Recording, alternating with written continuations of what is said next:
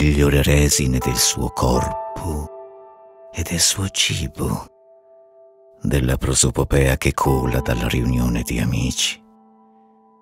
Chiamami come le ultime due cifre del mio cellulare. Mi rammenterai meglio. Esco, imbevuto del suo profilo stagliato su pareti squallide, non potendo, non volendo fare il fotografo che attende lo spostarsi del sole. Non mi sono allenato invano. La mia moral suasion che non sintetizza alcaloidi, la libido che porta a inselvarmi, unici argomenti dei calamburi, aneddoti rimissati. Sul tuo divano o tra i tuoi condimenti disgustosi riposo. Non amori, ma massaggi rilassanti, non versi piagnoni. Mi interessano risate piene. Proseguire nella sovrascrittura della giornata, preparando un antidoto grossolano abbastanza funzionante un'escalation di inquadrature e fierezza sportiva, quello che cerco. Un'ora e mezza di trucco. Fai la doccia, ti vesti, poi ti riprendi in video in un ballo dalle movenze sexy. Con te io spreco tempo.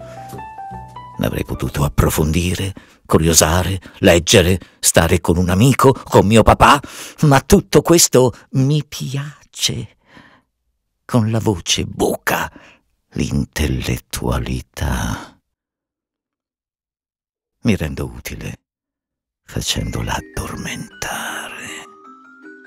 O prendo tempo e ascolto motivi di technodance Rotondità, cavità, frori orbitano, ronzano.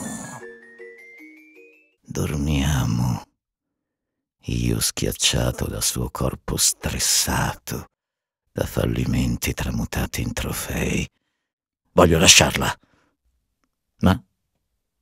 ma sarebbe bello vivere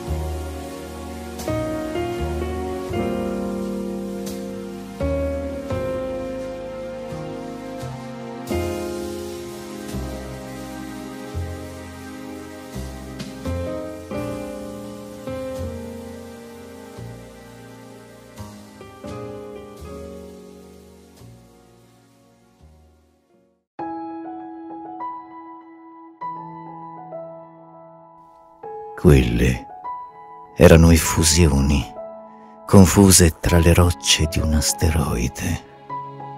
Quando guardo scivolare parole e gesti nella paraculaggine che ci innerva, sovente uso dei cazzeggi psichedelici per allontanare il tempo, mentre in auto formalizzo sulle cose del mondo.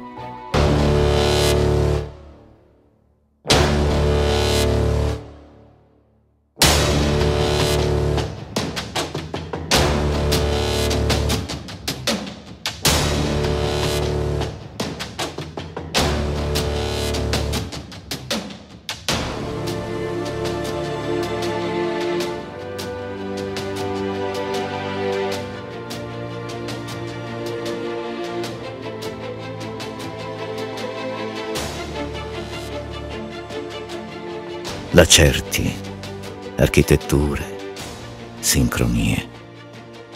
Faccio compostaggio. Fin qui ho usato un mix di saggismo e incompiutezza. Dieci minuti fa ti ho sollevato e ti sei aggrappata alla mia giacca con forza inumana. Ora in strada penso a certe spezie e al deodorante per auto da acquistare. Eppure che ogni donna rimanda allo splendore della bimba che fu.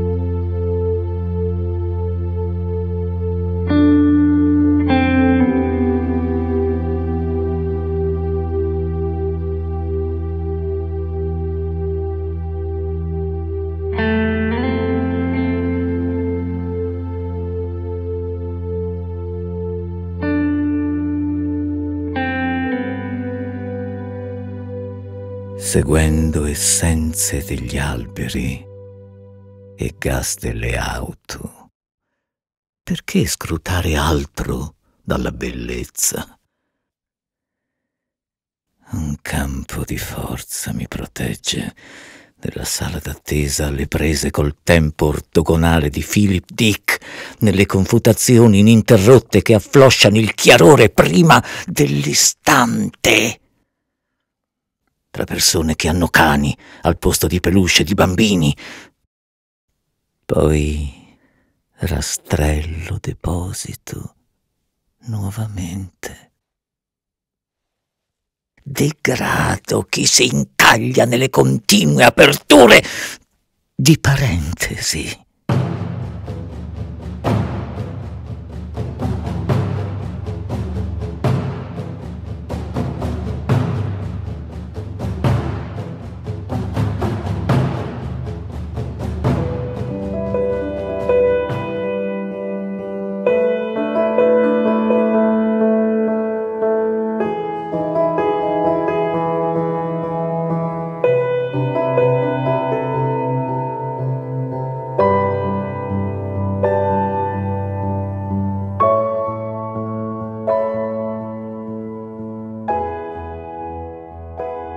Oltre le mimiche psicoautomatiche delle persone sedute ai tavolini. Confido nei pretesti per fare squadra e nelle coincidenze.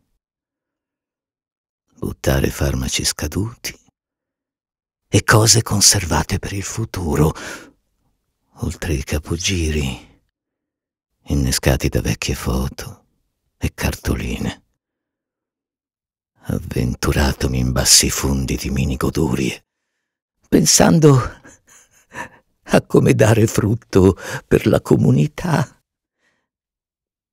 Una musica distorta attraversa aree condominiali, sedando il dopo cena